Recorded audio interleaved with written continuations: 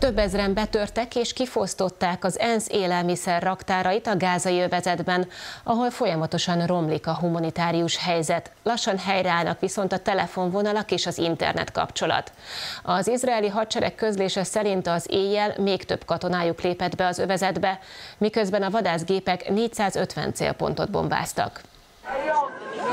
Tel Avivban tartottak virasztást a Hamas által elhurcolt izraeliek családtagjai.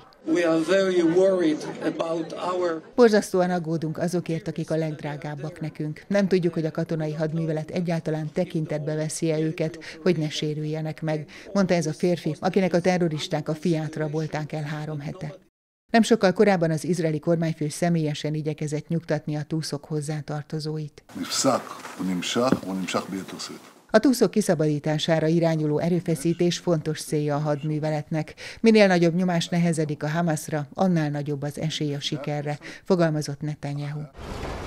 Dél-Izraelben egy rozsdatemetőbe szállítják a Hamasos pogrom idején megsemmisült járműveket. A palesztin terrorcsoport október 7-én rohamozta meg a dél-izraeli településeket, ahol brutális támadásokban 1400 embert mészároltak le, 230-at pedig elhurcoltak. A túszok közül mindössze négyet engedtek el eddig.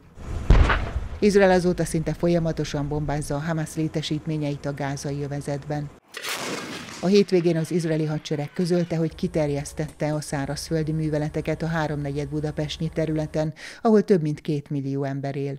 A Hamas azonban élőpajsként használja a gázai civileket. Izrael szerint sokszor kórházakba, iskolákba és más civil létesítményekbe telepíti a fegyverarzenáját. Az övezetben több ezren megrohamozták az ENSZ élelmiszerraktárait és elosztó központjait. A gázai egészségügyi minisztérium közlése szerint már több mint 8000 gázai halt meg a bombázásokban. Életét vesztette az ENSZ több mint 50 munkatársa is. A harcokban meghalt több mint 300 izraeli katona is.